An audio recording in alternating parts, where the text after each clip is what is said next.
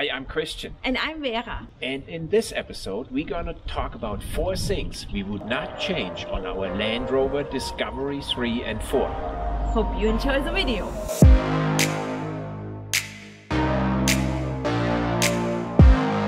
I'm waiting for you. Yeah, And it's cold here. So I got the fuel burning heater running, so let's sit inside the mall crawler. Go- loud. I wish we would have Australian temperatures. you think they can see us? I'm not sure. Item one, which we would not change on one of our two discoveries air suspension.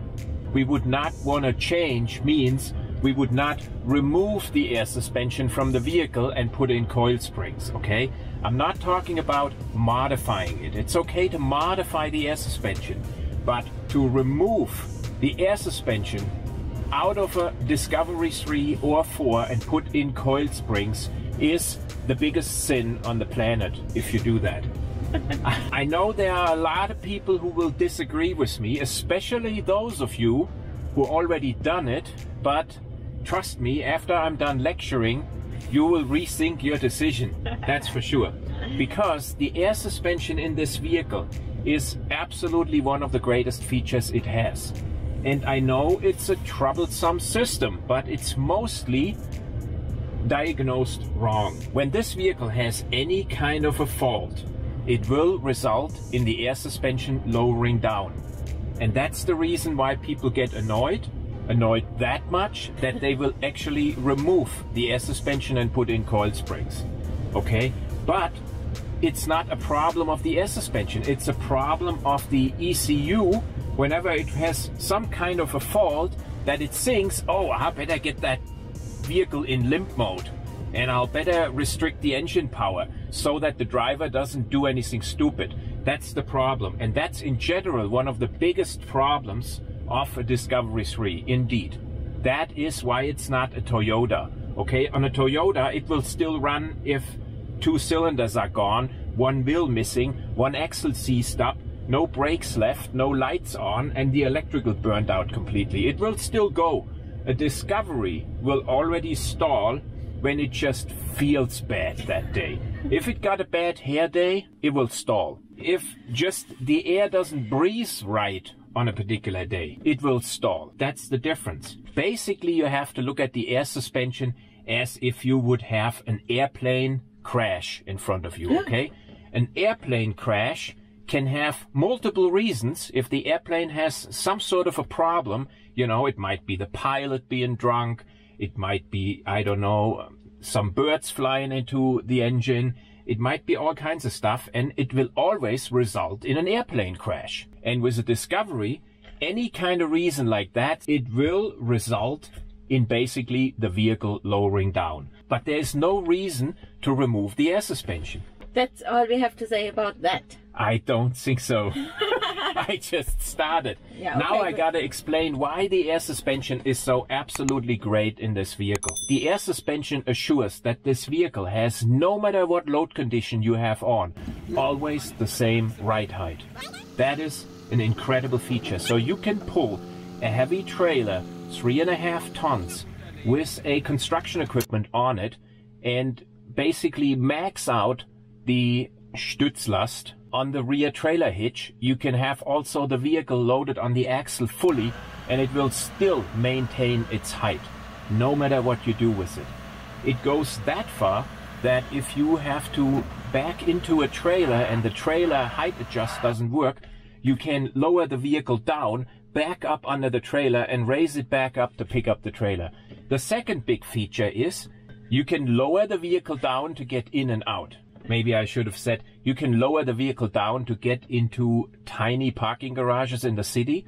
So it, Especially here in Germany. yes, it drops down below 1.85 meters in height when you put it into access height. So that enables me to get into my parking garage at work. The, the third big reason is, of course, when you go off-roading and autobahn driving, you can adjust your height depending on your usage. The vehicle actually lowers I think we tested this in another video Yeah. on your car. Yeah. The vehicle actually lowers when you go faster than, what was it, 160 or something? Yeah, On the Autobahn, it will lower down. It tries to get a better connection to the road by lowering the suspension down until you drop below 120 kilometers per hour, then it raises back up to regular ride height. I think this is absolutely incredible. And when you go 200 with this thing, it is glued to the road basically for such a big SUV. I really believe the air suspension is a big part of that. The other thing is now, if you go off-roading, you have the possibility to raise the vehicle up. And that gets you over obstacles, which you would normally only get over with a raised vehicle. But then you would have to drive your raised vehicle on the road with all the downs. Mm-hmm. It is a buying criteria Yeah. for a Discovery 3. Or for. So for a Discovery 3 or a mall crawler. of course, the air suspension has some flaws. There is no doubt about it. For example, that you can't, without modifications, you can't keep the air suspension raised up in the giraffe mode when you go on above 45 kilometers an hour. And, and that sucks. But there are ways to modify this relatively simple um, using the Gap2D tool or an X-Lifter or something like this.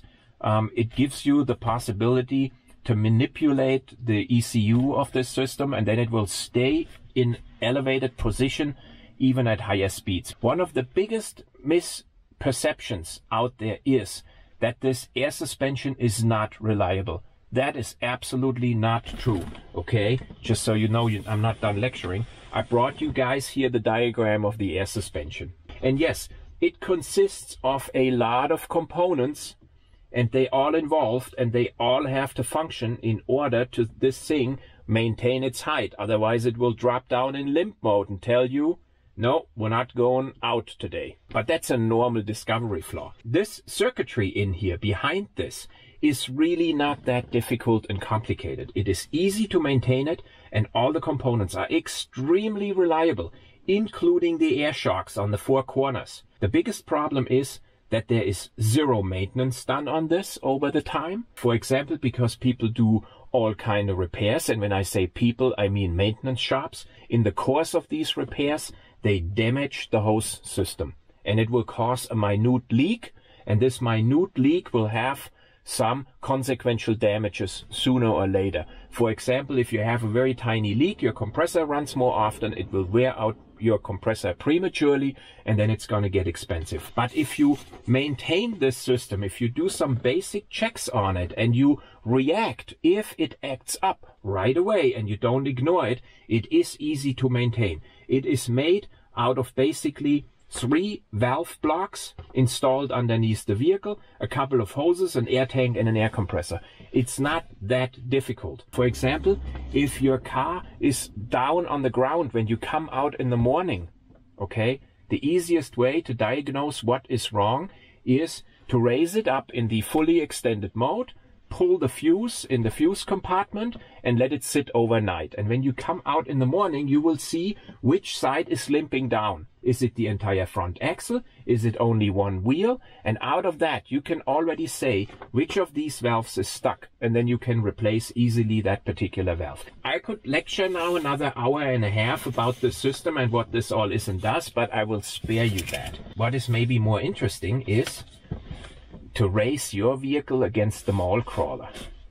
From the bottom down, up, or I put mine into access height. Yeah. There we go. oh, Yeah. And now you put yours in access height. I need to turn the emergency lights on. That's all. it's by the way one of the dumbest things on the Discovery 4. You don't see it during daylight. Yes, Yeah. in the other day we got into a bad situation on the Autobahn and I was looking for the emergency light switch. It's in every vehicle on this planet, a big red button. Yeah. And here, I knew it is somewhere in the center, but I was in panic mode and I didn't find it. I was pushing everything. And you have to lower it down first. You want to have equivalent starting conditions. I don't know. Okay, you do. can't start with an advantage. You hold the Land Rover button pushed and the lower switch, and you push. But you can push the you Land push- Rover button. oh! There we go. Look at that. Cool. But I have to first see how to, how to do that on mine. I think on mine I have to push. Yeah, it's going. You have to reboot it. One, two, three. And hold it. Oh, I didn't hold it. You have to hold it, of course. Okay, we gotta do it again. Two, three. Mall crawler, go and do it again. One, two, three. Yours is now up. And mine? Look, mine doesn't even go that high. Yeah, because yours is a wall crawler. Okay, maybe I'm winning in the bag. Yours is definitely higher than mine. I Still have winter tires. Yeah, this- I don't even have my badass tires on. When we raise it up now and your car stops, you have to push the button combination again to get into the second height. Yours is even lower than mine now. Yes, because It goes higher and it is lower. It's badass. Mall crawler. Two, three. So this is definitely one point for the off-road rig, zero points mall crawl. It is possible to do certain modifications to your air suspension. You can use your Gap 2D tool to adjust the height setup of the vehicle easily. If you do feel that the air suspension system is not reliable for your use case, like going through the Simpson Desert or something, then it makes sense to upgrade the system with an emergency override. You just put in a bunch of check valves and a bunch of valves. This is all metric 6mm tubing. You hose it all up and then you have a pressure regulator somewhere and you can manually open and close the air in your shocks. So if you would get into a bind, as long as your airbag isn't broken in the shock, you would just override your air suspension. That is something I've seen. People do that um, for emergency use. In my opinion, the worst possible thing you can do is remove the air suspension out of a Discovery 3. It's more difficult to remove and more expensive to remove than it is to fix and maintain. That's for sure. I wanted to lecture like two minutes about this, and now it's what? 20? Does a new Bronco have um, air suspension? I don't think so. No. Bronco does not come with air suspension, I believe. Did you guys see my new DAB Plus receiver? If you want to upgrade your mall crawler with DAB Plus, that's actually possible. Land Rover has that available and it costs you about what? Between 400 and 600 pounds. And what I did is I installed this thing here for 40 pounds. Um, I say pounds because it's a UK system. Really easy to install. And now I got actually DAB Plus in here. I have DAB Plus on my in my car. Oh, look at that. No battery. It's the Highway 200, again made in the UK. And it takes a moment until it has good reception. And then all I have to do here is go into my music and it shifts to auxiliary. And now I got actually DAB Plus radio. I think it even looks good. yeah, if you guys are interested, we'll make a video about it. I didn't have DAB Plus, and that was one reason we always took her car. And I want to use the mall crawler more. It's such an expensive car, and we're not getting any use out of it. Item number two: what we would not change on our Discovery 3. Very simple: upgrading the style to a Discovery 4. That is the second biggest sin on the planet if you do that. If you have the feeling you have to upgrade a Discovery 3 to make it closer to a mall crawler, then I really feel sorry for your wallet. Okay? This is the wrong decision. The Discovery 3 is a way, way cooler vehicle than a Discovery 4. It simply is because it's older, because it has more style. It mixes in less on the street. A Discovery 4 is a modern looking vehicle. It, has equivalent look, but it has definitely with those design features what they put in especially with the facelifts it has this mall crawler touch. Got these clear rear lights. It got these led um, designed headlights in it with that you know like modern vehicles have. They are great. They look nice But there is, in my opinion, and this is always my opinion here, Christian from LR Time, and I think Vera shares that opinion. Oh, yeah. There is no reason why you would have to upgrade this look to a later model on your Discovery 3. That is that is definitely something we would not do. I don't say it looks better. Okay, it looks cooler. Yeah. There is a big difference between those Looks two more things. badass. Yeah. Yeah. What is the prettiest thing you see here? I mean, there is no reason to get rid of these lights from this car and put in these lights. They are a nice design, but they're not cooler. If you got this, don't put in this, my opinion. Now let's go to the front. Yes. 16 years old, Going on 17. This- going on 17. Here, so 8 years old, about, yeah, depends on It's a December 2013. It, it might be, I'm not sure. But even if you upgrade everything, look how the bumper has this small crawler shape. And look how this bumper has the off road shape. Yeah. Okay? But if you would upgrade a well equipped and good condition Discovery 3 to this look, it might really raise your value that it makes financially sense to do it. This is an upgrade I've seen done that this yellow is removed.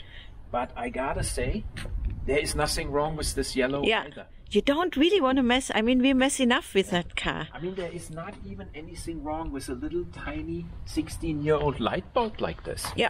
Okay, I think this looks really, really classy. it could be a Hyundai. If I show you this picture and ask you what vehicle is that, you'd You be struggling. Yeah. If I show anyone this picture and ask what vehicle is it, you bet I get the right answer. I have to turn out the light, otherwise I'm gonna have those battery problems. Christian has. Good. Okay. The mall crawler threatens you way more often than the Discovery 3 with weird messages, okay? But the sound is a little bit dimmed. Yeah, it's a little quieter, so you don't get that shock.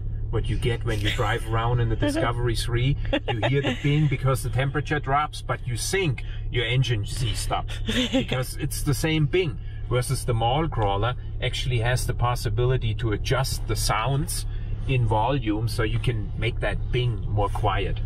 That's there are many advantages of this vehicle, no doubt. Yeah, but item number three, what we would not change on our two discoveries.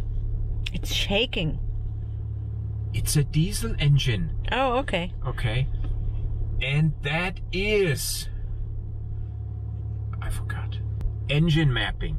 Oh, remapping. We're talking about diesel engines here. This vehicle is the SD V6 with 255, no, with 256 horse. Vera got the 2.7 liter TD V6 with 190 horse. None of these two vehicles need a engine mapping. Keep your hands away from any ideas of trying to remap this engine. It's not gonna do you any good. It's not gonna take less fuel. It's not gonna get you better acceleration. It's not gonna extend the life of this engine. It's gonna reduce the amount of money you have in your wallet. And it's gonna be making you feel like it was the reason once your engine died if you let your engine just die without doing it, at least you don't think you caused it. don't do an engine remapping on these vehicles. Don't spend any money towards that. There is no proof anywhere on the internet that this did anything good for anybody. And the people who've done it, and you can see some qualified people who are honest about this, and then they did a review after a couple of months and they come back saying, well, I sometimes feel like it's doing something, but I can't really show you proof. Like it's not cutting out 0.3 seconds on the XL. on Vera's car, we're talking about a vehicle which is 2.65 tons um, with a 190 horse engine. Trust me, it's not cutting that much life out of you um, if it takes a second longer to get to 60. Now, I do have to say that the difference between the 3 liter TDV6 with 245 horse and the SDV6 with 256 horse is only the mapping. And it may be possible to change the mapping of a 245 horse to make it the SDV6 version. I don't know that. You have to ask someone in the UK. Um, but even if you do that, it won't be the same vehicle because it would still miss the transmission. Okay, so it will not give you that big of a benefit. Don't do any remapping. It's not worth it. It's too risky. That engine is already sensitive. Okay, mm. it already penalizes you for doing anything wrong if you don't give it the right oil. Okay, if you don't read it a story every night when it goes to bed, if you don't drive it warm, you know, if you don't dress it in a warm coat when you're out there, the engine will be mad at you and it will penalize you sooner or later.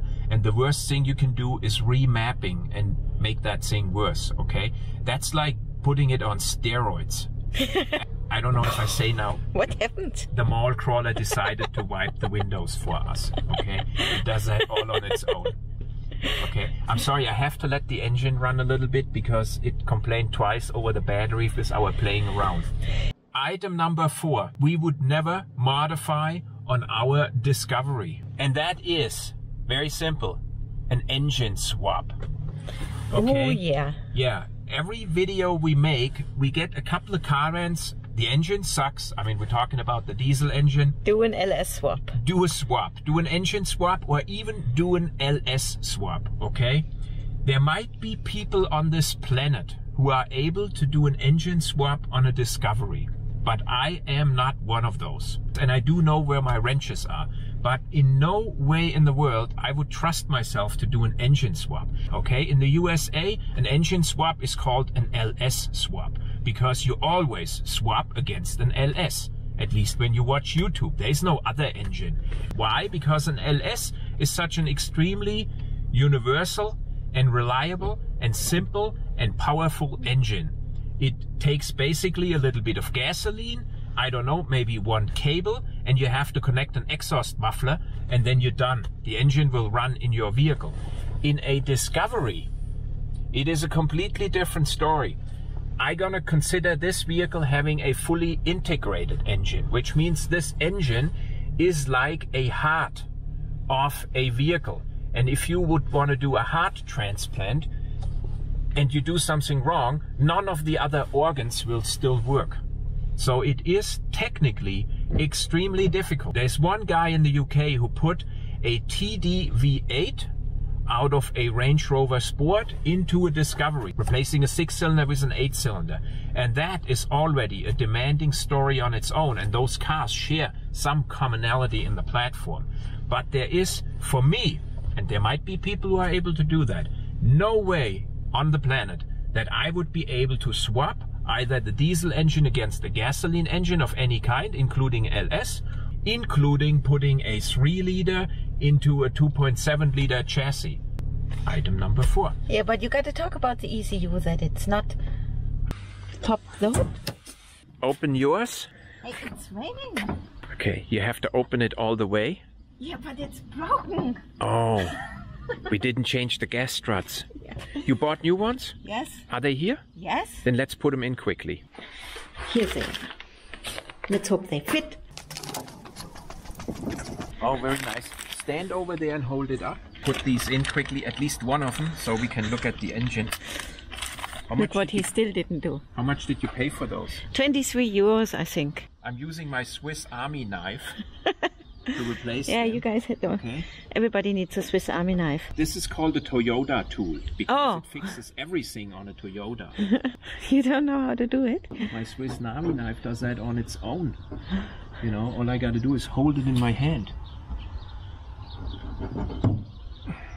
Okay, now it's heavier. Yes. Yeah? All I gotta do is push it on. Oh, Okay, so now it stays up. you sure? Yes, this is good. Oh my god. Mall crawler has a cover on. Same engine. Mallcrawler has two turbochargers, and this one has only one turbocharger. This one has a little bit less of a volume.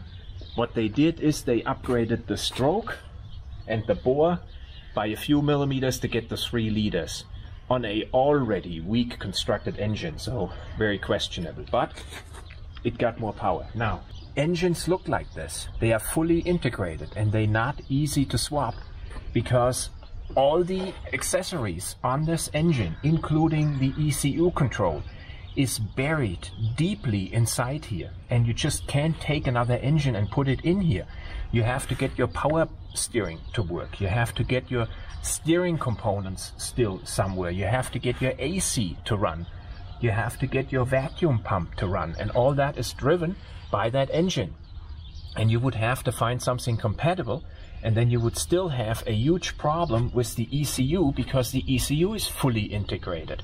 This engine talks with all kinds of sensors to the rest of the vehicle so that the ride control module knows what's going on, so that the ABS module knows what's going on, so that the individual transmission components know what's going on. So there is a lot of high-speed bus communication. And if you take that engine out and you replace it with an LS engine, all that will be gone and you will have a lot of flashing lights which you have to fix by putting a sticker over them. they give you a engine cover. Okay, this is a piece of plastic what costs the manufacturer about 2 euros 50 or 3 dollars or 2.2 pounds and you can put this cover on if you do it the right way. you can put this cover on and then that big pile of junk is actually looking nice. But on a Ford Bronco, it appears like they were in such a rush that they missed this. And now, when you watch the YouTube videos, what that engine looks like, it seriously looks like a big pile of cables and hoses and stuff. Nobody knows what it is for. Yeah. It doesn't even have that. Okay, first problem.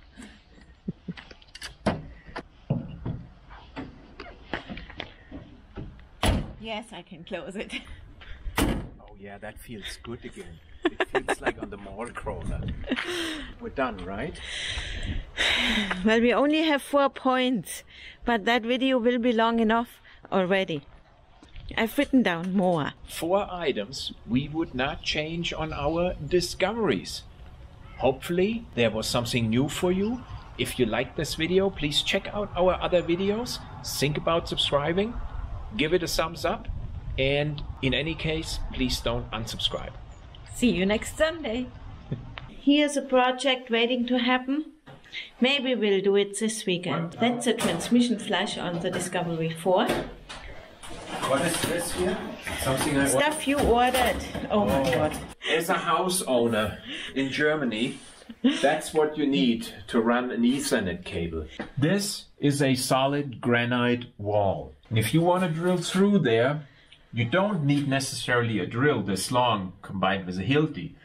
But if you want to drill through this, like this, to get up into another room, so you got the concrete ceiling and the wall, you need a, a one meter drill with a SDS Max coupling. Okay, this is the large size, not the small wimpy size for people, you know, living in normal homes. And we actually do have a Hilti and not a cheap oh, Chinese. Yeah. Um... We got, uh, yeah. We got a real Hilti.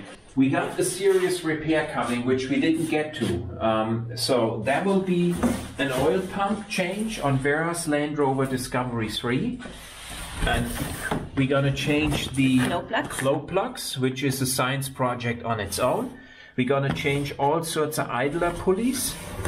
Um, we're gonna change timing belt front and rear and of course oil. Because we wrecked Vera's brake switch. No, we did not. You did. Yeah, okay. So we'll have to put in a new brake light switch because yeah. hers, uh, one contact was broken off.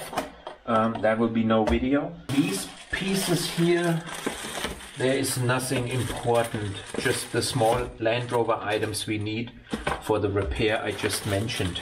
Now we are still harvesting our firewood right now and we got less time to work on the discovery and that's why we only did like a talking video.